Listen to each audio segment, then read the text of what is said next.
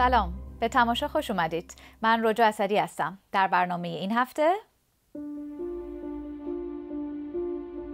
یادی از کامبوزیا پرتوی فیلمنامه نویس و کارگردان ایرانی. تاریخچه مختصر ادبیات سرگرمی در ایران. گروه بوی بلو رقص در خیابانهای لندن.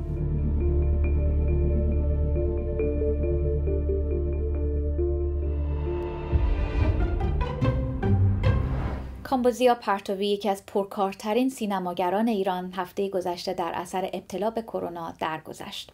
اون کارگردانی رو با فیلم های بیادماندنی گلنار و گربه آوازخان برای کودکان آغاز کرد و به عنوان فیلمنامه نویس با کارگردانان مطرحی مثل جعفر پناهی، داریوش مهرجویی، مجید مجیدی و رسول صدر عاملی همکاری کرد. کامبوزیا پرتوی در کارنامش جوایز متعددی داره. از جمله سیمرغ بلورین بهترین فیلمنامه جشنواره فجر برای کافه ترانزیت و خرس نقره جشنواره برلین که به طور مشترک با جعفر پناهی گرفته برای پرده بسته. به یاد کامبوزیا پرتوی مصاحبه پخش نشده از اون رو ببینیم.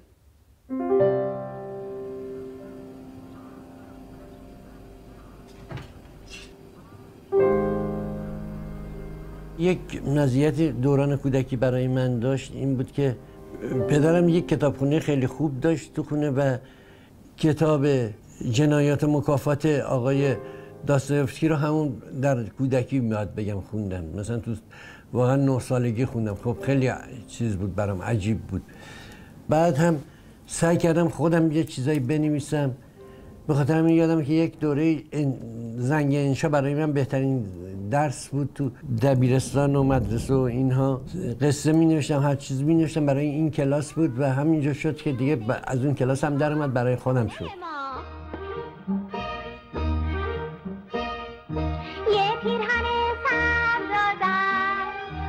اینکه چرا جذب کودک شدن؟ ببینید دوباره گفتم اتفاقی همه چیز برای ما یا تو ایران این بوده که خب مثلا همون تو انقلاب فرهنگی من یک شهرستانی که اونجا جذب مرکز تلویزیون اونجا شدم و اونها نیاز به برنامه کودک داشتن. خود به خود وقتی وارد زندگی کودکان میشیم یک دغدغه‌ای نسبت به این بچه ها پیدا می‌کنه. اونم واسه بچه‌هایی که بعد از یه انقلاب هیچی نداره همه چیز نابود شده و هیچی هیچی نداره من باید برم. آخه چجوری می‌خوای بری؟ تو که راه بلد نیستی. به دختر به نازنینی بره جنگ تازه تموم شده و رنگ از تو نقاشی های بچه ها رفته و اصلا بچه ها یک جوری دیگه شدن و الان نیاز دارن به فیلم.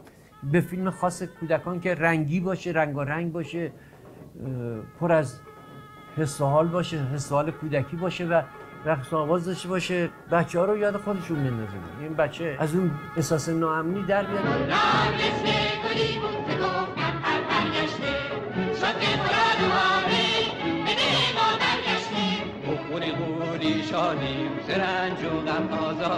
روزا دیگه چپ و پر از خواهر یه عمره که این جاده همه چیش با قاعده بوده. من بی قاعدش کردم حاج آقا. از جاده شما این تو هر کجایی که می‌خوایم کار کنیم اول فکر می‌کنیم مخاطب کیه. تو همه باب فیلم. این هست چی باب نیست حاج آقا؟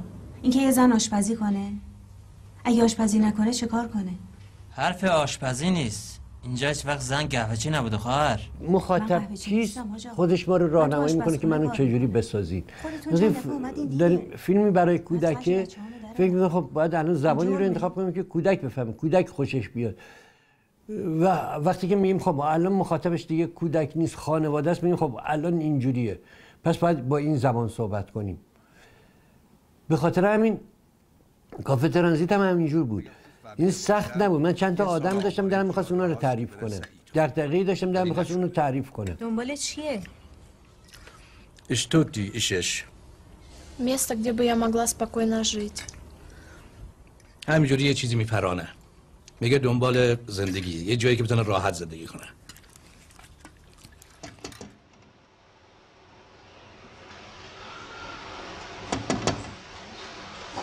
بله اونو بفرمایید ببخشید.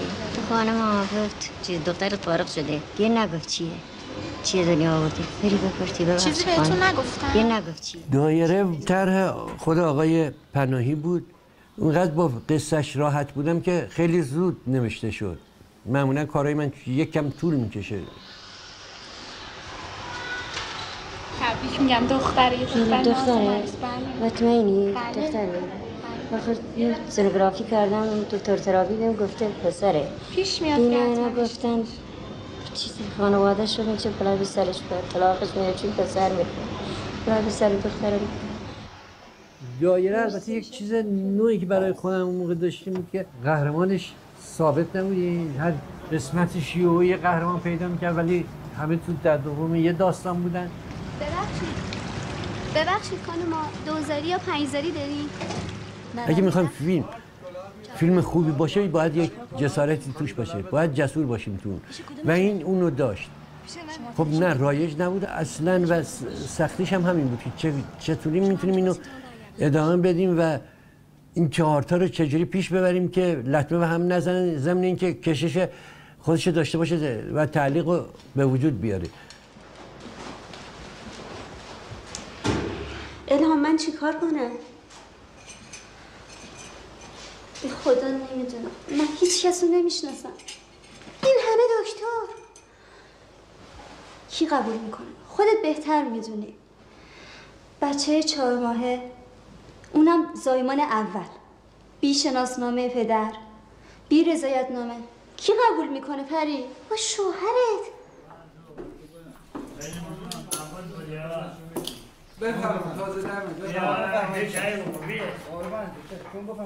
آقای پناهی تماس گرفت گفت کی میایم؟ من می‌خوام کار کنم و اینها. خب دوران بحران سخت آقای پناهی هم خب همون موقع بود دیگه. اینکه هیچ اجازه ندارن مجوز خروج ندارن سا- ساخت فیلم ندارن. دلم می‌خواست کار کنه. یعنی همه همون دلمون می‌خواد کار کنن گفت یه طرح دارم. خوندم و اینها. پیشنهادهای خودم رو دادم و ایشون خواستن که خودم ادامه بدم فیلم نامه رو. و دنبال یه بازیگر بودم برای نقش نویسنده که تو اون وجود داشت. خب خیلی هم میترسیدن دیگه به خاطر اینکه خب ما اگه تو این فیلم کار کنیم دیگه ممنوع کاریم و اینا. به خاطر این به بازیگرای ایرانی مقیم خارج از کشور فکر می‌کردیم. خیلی کار سخت شده بود. که یک روز خودم پیشنهاد دادم که آقای چیز می‌خوای خودم بازی کنم. گفت اگه میشه بیای خیلی خوب میشه و اینا. که گفتیم باشه فقط چون میبایست واقعا داشتیم زمان از دست می‌دادیم. گفتم باشه من بازی می‌کنم فقط باید بریم اول سگه رو بگیریم. یه یک ماه تا زمان فیلم برداری شروع بشه با من داشت زندگی می‌کرد سگ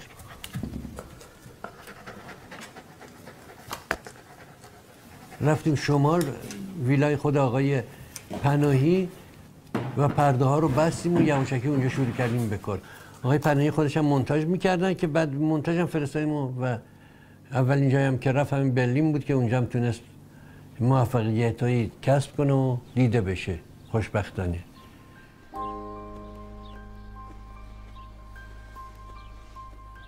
این امیدواریم واقعا امیدواریم. همه فکر می‌کنیم این خواهد اومد. جوانای جسوری که مقلد نیستن ولی نگاهی دارن و به نگاهشون اعتقاد دارن به تفکرشون به اندیشهشون اعتقاد دارن و شروع می‌کنن به مطرح کردن آن که موقع نجات سینماست از یک بحرانی که الان گریبانشو گرفته.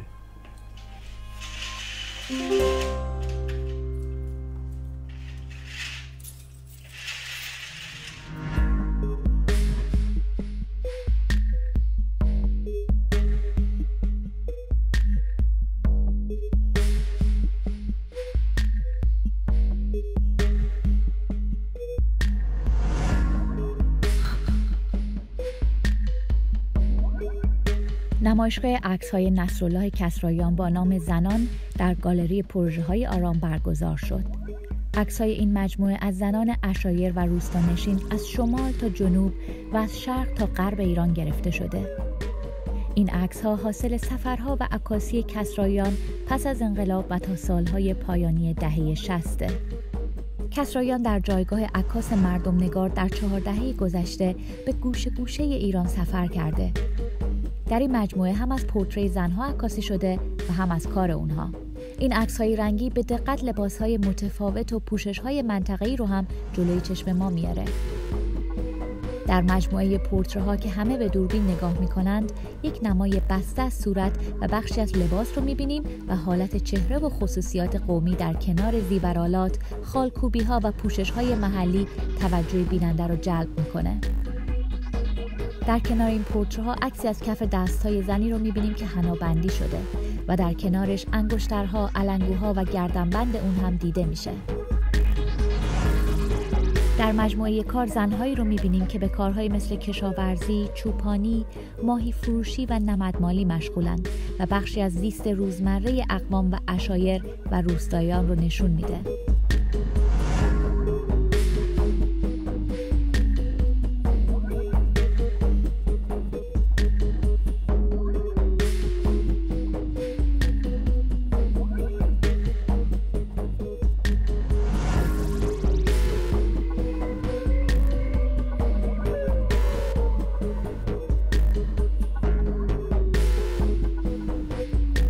نمایشگاه مجسمه ها و چیدمان های چند رسانه ای هدا زرباف با عنوان عزیزم من خانه هستم در گالری دستان برگزار شد.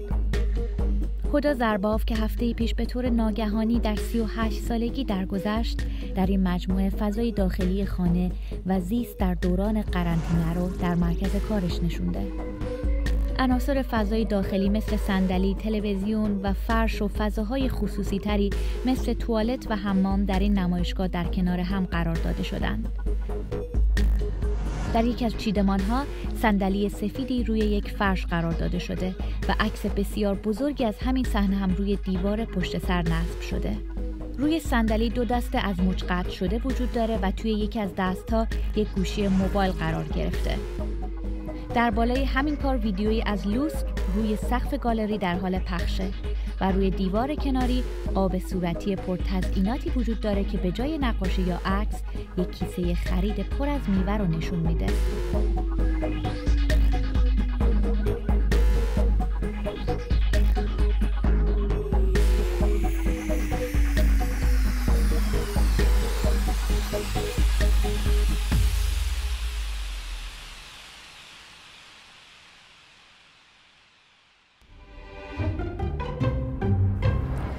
ادبیات سرگرمی یا عام پسند چیه؟ و های مثل بامداد خمار چه ویژگی هایی دارن که اینقدر پرخواننده میشن؟ این نوع ادبیات از کی و چطور در ایران شروع شد؟ اسد سیف پژوهشگر و نویسنده که در این حوزه تحقیق کرده از آلمان مهمان منه تا در این باره با هم صحبت کنیم. اگر موافق باشید بحث با مرور تاریخچه ادبیات عام پسند یا ادبیات سرگرمی شروع کنیم. ادبیات سرگرمی از قرن هجده است که تو جهان شروع می‌کنه به تولید. با جنبش رنسانس رمان نویسی مدرن داستان نویسی مدرن آغاز به کار می‌کنه.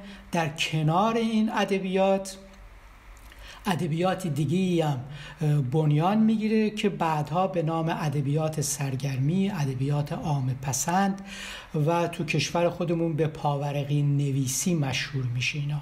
این ادبیات بعدا به شاخه های دیگه ازش به وجود میاد مثل ادبیات پلیسی ادبیات جنایی و ادبیات عشقی البته عشقی سر سرگرمی و کارتون و غیره و غیره. شما تمایز جدی قائلید بین ادبیات خلاقه و ادبیات سرگرمی. از دید شما این دو چه تفاوت‌های عمده‌ای با هم دارن؟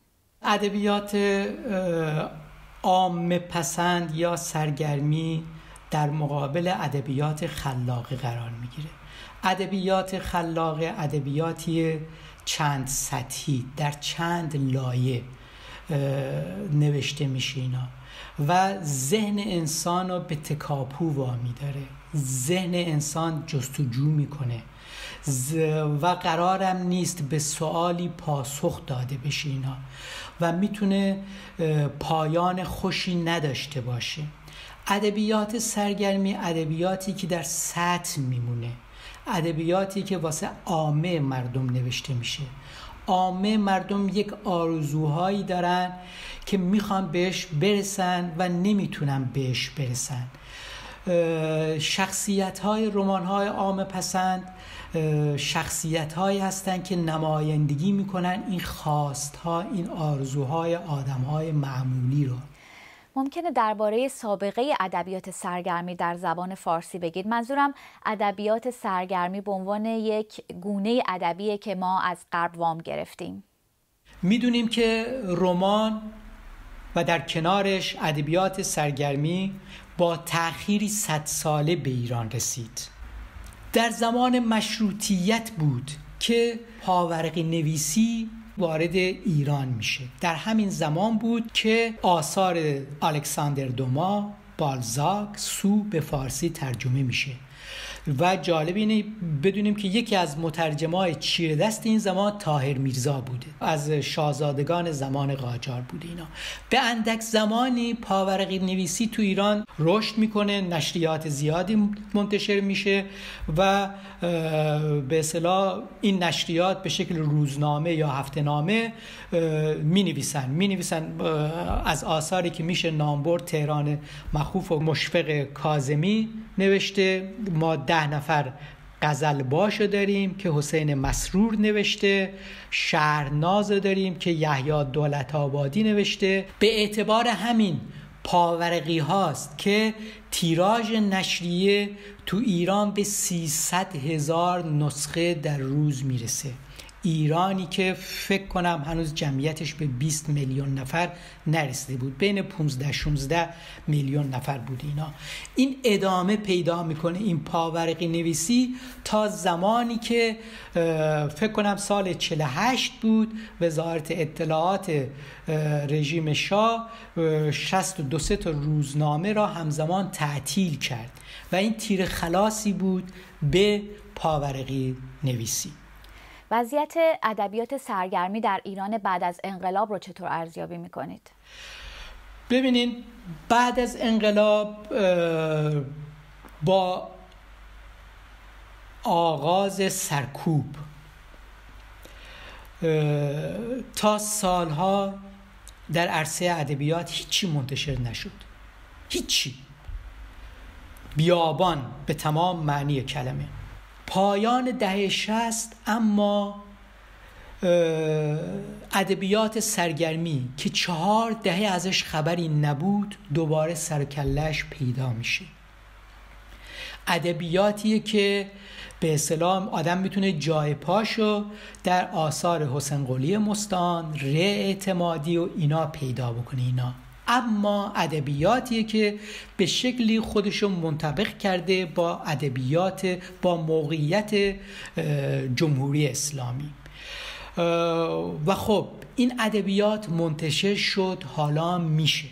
حالا میشه تا اون اندازه منتشر شد تا اون اندازه رونق گرفت که بر اذهان عمومی تاثیر گذاشت. ذهن ایرانی را نسبت به رمان نسبت به ادبیات خلاقه تغییر داد. وقتی که از دانشجویان ایرانی می‌پرسند بهترین رمانی که خوندی چیه طبق آمار دارم صحبت می‌کنم. وقتی که می‌پرسن ازشون میگه دانی... از... از نویسندگان خارجی دانیل استیل. از نویسندگان ایرانی فتانه حادث جوادی بامداد خمار. بعدش در کنارش از بوفکور نام می‌بره. این دو تا دنیاست. بوفکور نمی‌تونه در کنار بامداد خمار بشینه. کسی که این حرف رو می‌زنه یعنی رمان نمی‌دونه چیه. و این ذهن ایرانی که تغییر پیدا کرده. عاملش همون سانسوره. سانسور باعث شد ذهنها عوض بشه. ببینین ادبیات خلاقه احتیاج داره به آزادی فرد. احتیاج داره به دموکراسی.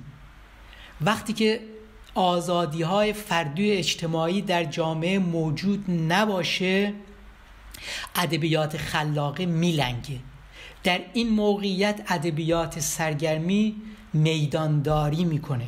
و چنان که می‌بینیم داره میدانداری می‌کنه.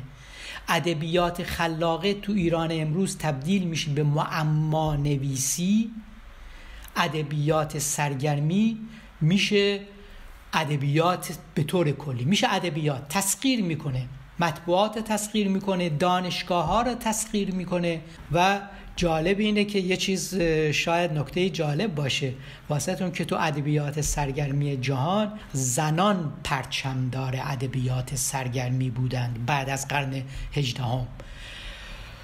در ادبیات امروز ایران هم در ادبیات سرگرمی ایران هم زنان هستند که حرف برای گفتن دارند در رمان ها البته حرف مردها رو می‌زنند ولی به هر حال زنان داستان نویس ما در ادبیات سرگرمی یک کتازی دارن می‌کنن اگه میشه برای اینکه بحث روشنتر بشه از بین نویسندگان زنی که تو این حوزه کار می‌کنند چند مثال بیارید.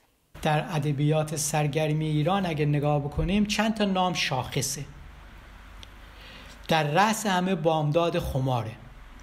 بامداد خمار اثر خانم فتانه حاجس جوادی در رأس بعد از این می‌رسیم به خانم فهیمه رحیمی خانم فهیمه رحیمی حدود چهل تا رمان بیش از چهل رمان منتشر کرده و عاشقانه ترین نویسنده رمان های سرگرمی در ایرانه و جالبه که بدونیم ایشان تحصیلات حوزه‌ای دارند. بعد خانم نازی صفوی هست که کتاب دالان بهشتش از پرفروشترین کتاب است همین کتاب ها هر کدوم بیش از 50 60 بار تجدید چاپ شدن و شاید جالبترم باشه بگم که آثار ادبیات سرگرمی دهه چهل ایران سالهای اخیر تجدید چاپ شده مثل آثار اعتمادی و اینا و استقبالم میشه ازشون.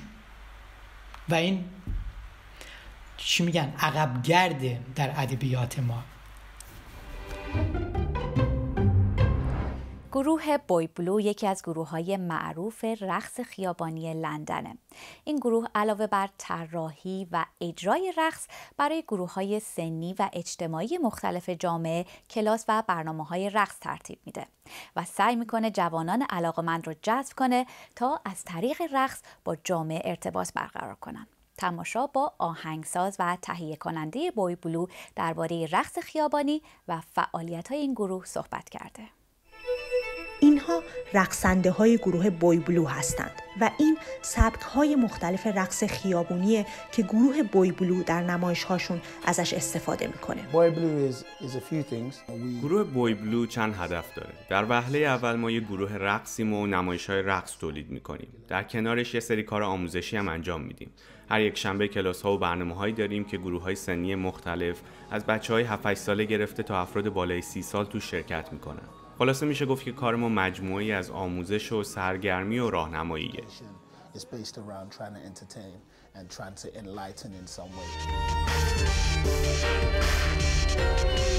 گروه رقص بوی بلو که تا به حال جوایز متعددی در طراحی رقص برده فرهنگ هیپ هاپ رو به صحنه های بزرگ آورده و معرفی کرده و با صدای اغلب خاموش خیابون ها فریاد زده معمولا هر کاری رو که شروع می‌کنیم خود کار بر اساس دریافت و احساسات اون لحظمون راه رو بهمون به نشون میده. رقص های خیابونی هم که در دهه هفتاد در خیابون های محله های فقیرنشین لس آنجلس و نیویورک خلق شد دریافت و احساسات ناگفته خالقانش که اغلب افرادی از قشرهای محرومتر اجتماع بودند رو به نمایش میذاشت و دردها، شادیها و بعضی مکنونات قلبیشون رو بیان می‌کرد. ما می‌خوایم به تماشاگرمون یه چیزی رو منتقل کنیم. می‌خوایم فرصتی برای سیر و سلوک براشون فراهم کنیم و بذاریم تعبیر خودشون رو از آثار ما داشته باشن و داستان خودشون رو توش ببینن.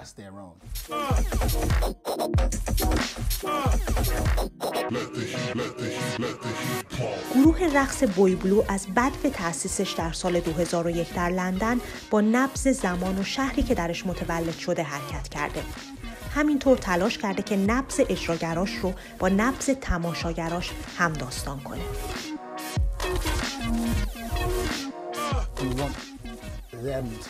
ما به رقصنده هامون این فرصت رو میدیم که داستان خودشون رو توی کار پیدا کنن چون اینجوری احساساتی که منظور نظر قطعه از حقیقی تر میشه.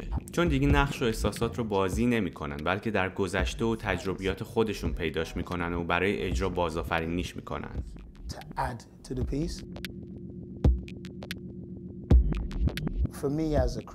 برای من به عنوان یه هنرمند پروسه ساخت قطعه از همه بخش‌های کار جذاب تره موقعی که مثل یک باستانشناس خاک رو کنار می‌زنیم و یه چیز ارزشمند پیدا می‌کنیم که هنوز دقیقا نمی‌دونیم چیه. گاهی از مردم هم دعوت می‌کنیم که بیان و پروسه کار رو ببینن و شاهد بحث ها و نتیجه گیری هامون باشن.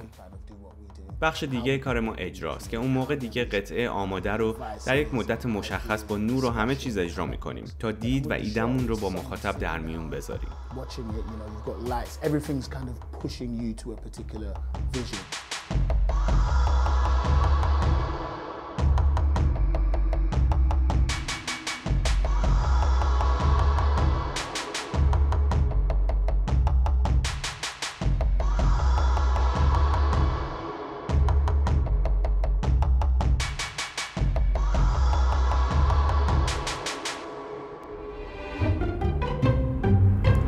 برنامه این هفته هم تمام شد. ممنون که بیننده ما بودید. تماشا رو می‌تونید روی یوتیوب و وبسایت بی بی سی فارسی هم ببینید و گزارش های ما رو روی شبکه های اجتماعی دنبال کنید.